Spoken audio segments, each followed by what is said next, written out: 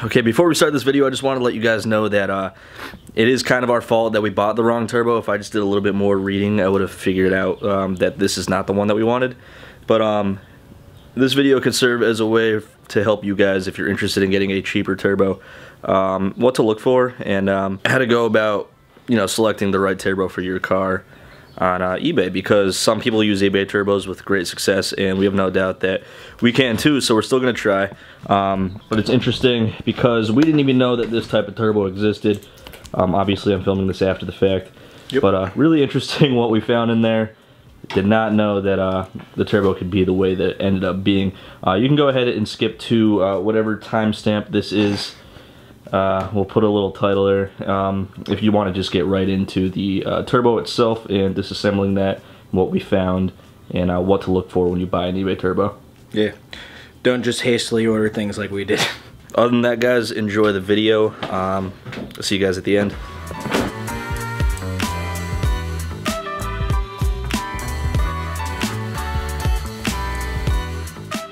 What is up Team Boosted and welcome back once again to another video today we get the turbo in for uh, the Datsun engine, which is a 1988 uh, Thunderbird turbo coupe motor.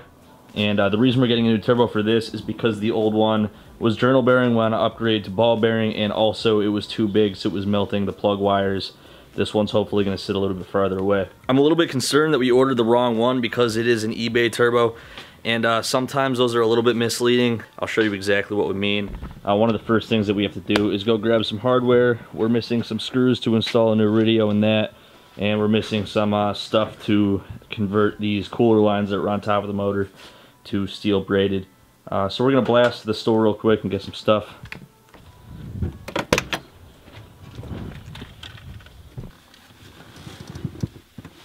Haha, it's on this side, Devin.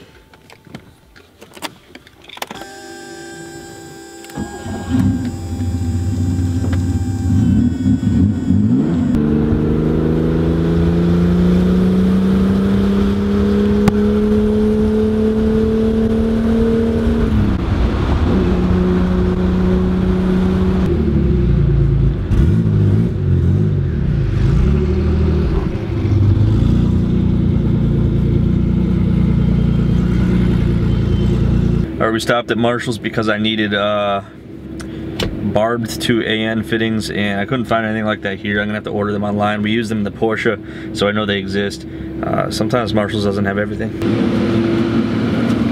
Devin did get the shit to install the radio though, which is good because this is aftermarket, but it's it's ugly and uh, it's a little outdated. So even with the nice speakers that we installed, it just sounds like crap. Uh, I also got screws to correctly install these because the ones it came with were like two inches long and totally hits the metal back there and sticks off the thing. So we're gonna shoot back home now and see if the turbo has arrived.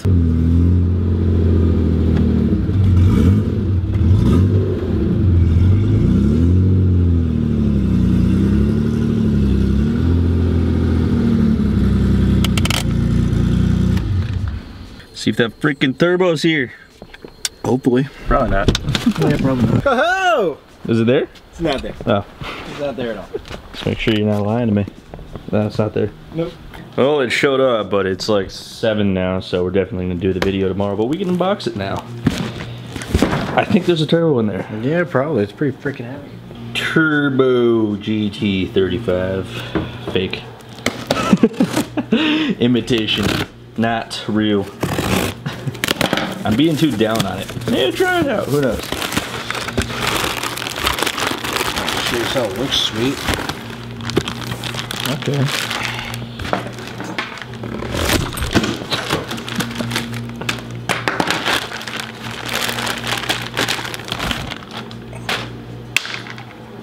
Look at all these cool little rubber things.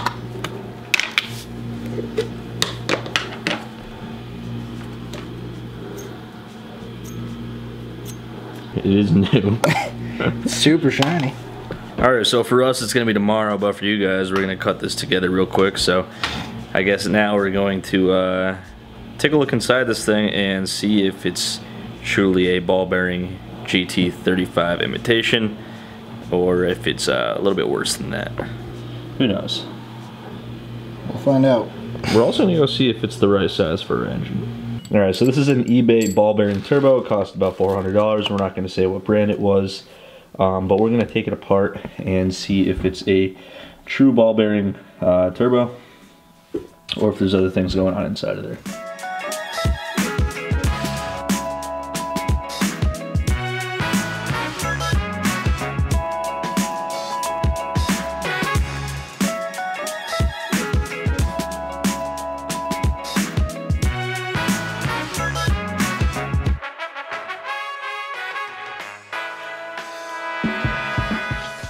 One thing that's good to see is that this uh, particular turbo is advertised to be 76 millimeters on the compressor, uh, and it looks like it is, so that's good.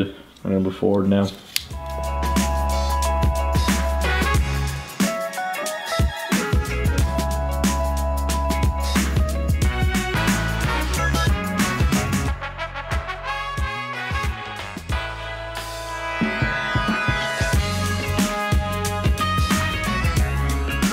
So when you do this, the uh, these are threaded backwards, so the other wrench needs to be on. on. Yeah, you're gonna need help with this though. I can't do this. Okay.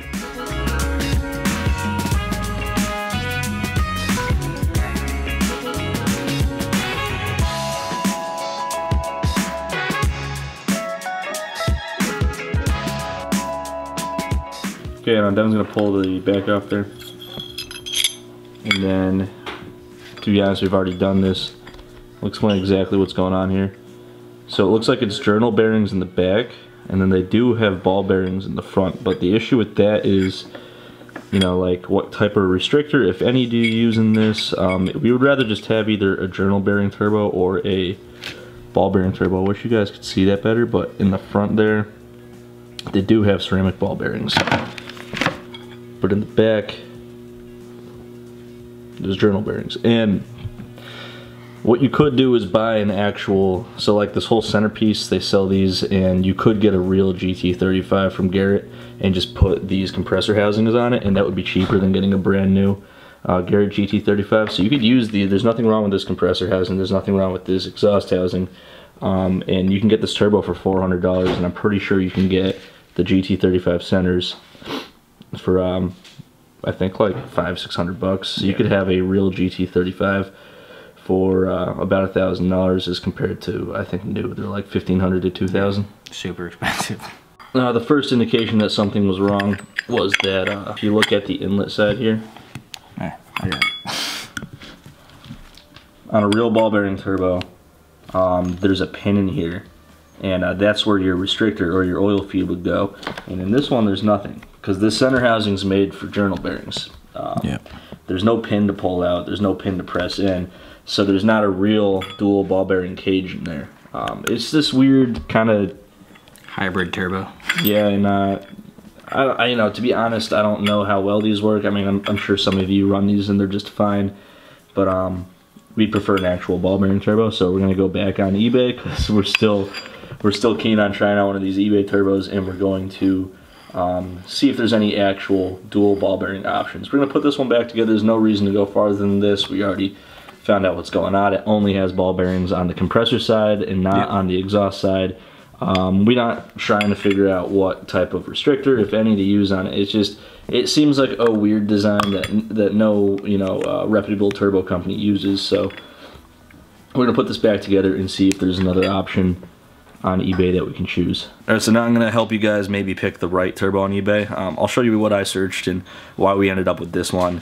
I've already explained kind of why I don't want this one, but let me show you real quick. So you can see that I've, I've done some turbo searching. The first thing I did was I just typed in ball bearing turbo.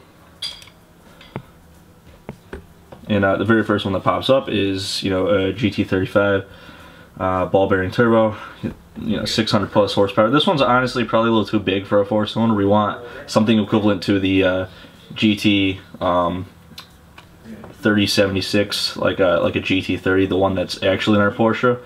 Um, so you click on this and then if you scroll down you notice this is where it gets weird is it's a stage 3 which really doesn't mean anything it's a ceramic ball bearing on compressor side so they basically tell you if you just do a little bit more reading um, luckily for us, we live in California and this got here next day, so we should be able to return it. Um, Now let me show you how to get an actual ball bearing. Actually, I don't know because I haven't actually bought it yet, so it could show up and it could be uh, still wrong. But you can see right away these ones are a little bit more expensive. Um, the one that I found that I think is going to be good for our car is this one right here. It's got the T3 flange. Oh, that's also something we messed up. The one in there has a T4 flange. But um, they advertise it as dual ball bearing, so on the compressor and the exhaust side. And um, you can see they really drive this point home. This is the ball bearing cage that I was talking about. Um, this is where that pin would go for the uh, oil feed where you put the restrictor. So this looks more legit. Um, we're definitely going to pick up this one. It's about $100 more, but that makes sense. Um, it also looks a little bit smaller, but should still be able to pull. I don't know what they advertise it as. I think they say at least 500 horsepower, but take all these things with the, oh, 450 to 750. That's, uh, I don't know. Yeah, it's eBay, so obviously take all these things with a grain of salt. We're going to try this one now. Uh, $100 more, but real dual ball bearing, and uh, we're going to ship the other one back. Okay, so if the ending there was confusing uh, for any reason, what we ended up finding with this turbo is that it had the center section of a journal bearing turbo, but they put a ball bearing on the compressor side, and they had a journal bearing on the uh, exhaust side. So it was a journal um, ball bearing turbo. We just wanted a ball bearing turbo, so we made this video to show you guys that. It seems like just a cheap, effective way to make it so that they can advertise as a ball bearing. Uh, they're not lying, and if you read the description like we did later, it totally explains it. We just didn't do that. We saw a ball bearing, we thought full ball bearing turbo, and just bought it, so. Yeah, so um, if it is dual ball bearing, um, it'll have the cage. They'll, like I, like I showed you on eBay, they'll, they'll be sure to advertise the fact that it is dual. That's what you want to look for because uh, then it's not as vague as to you know how you set that up. Um, if, if someone wants to shed light on what you do with that, do you use a restrictor? Do you treat it like a journal bearing, but it just has the added benefit of having um, a, ball bearing? Uh, is that even a benefit? We don't know. This is just not the turbo that we wanted, and um, want to help you guys make the right choice. Um, some would argue that eBay is just never the right choice, um, and you should just go name brand. Uh, you know, and if you want to do that, and if you still want to save money, I mean, a, Holset is a sturdy, really, you know, reliable turbo that makes, you know, tons of boost, but um, they're just, for a smaller engine like ours, they're, they're frankly pretty big, slow to spool. So uh, we're looking for a ball bearing and uh, we want to see if there's a budget option for that. So when we find one on eBay, we will show you guys. But Devin's going to go ahead and pick a winner for this video's giveaway. If you guys are not familiar with the channel, we give away products from boostedshades.com every single video. That is also the best way to support us, is to head on over to boostedshades.com and see what we have to offer. All right, this video's winner is Boost Addict. Okay. And uh, nope. you were wrong. What? His comment is, I'm never going to win. Just oh, randomly shit. landed on you. Lucky you.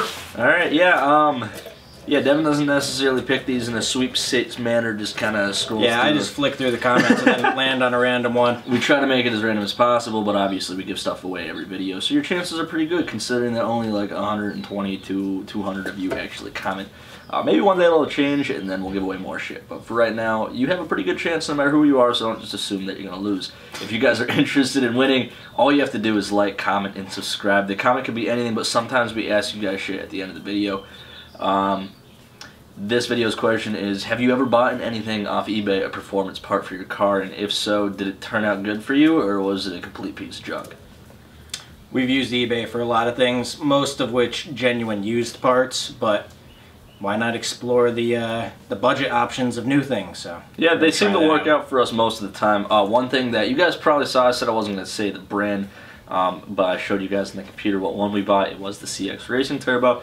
Uh, like we said, it looks great. It looks like it's well built. Nothing against those guys. Personally, we have their intercooler on the Porsche. Very uh, impressed with the quality of it, considering how cheap it was. Um, so as far as CX Racing goes, I'm sure uh, they're a-okay. It's just not what we were looking for. Um, didn't entirely our fault. Yeah, entirely our fault. Um, but that's gonna do it for this one. As always, guys, thanks for watching. We'll see you next time.